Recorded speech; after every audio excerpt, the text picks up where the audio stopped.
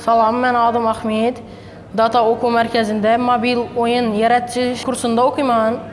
Hazır mən sizlərə öyrənən nərsələrimlə oyun yaratıb verəcəkəm.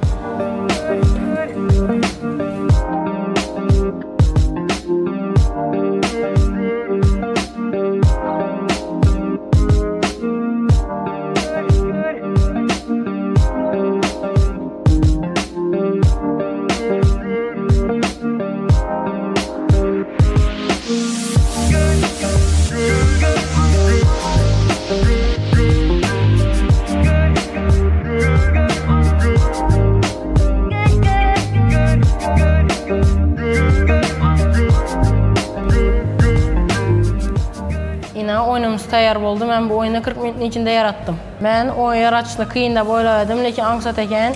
Ben ne oylanaz, ben yarım, yarım saat içinde yarataman. Ee, gelecekte bundan zor yaratıcılığını maksat kılıp koyma.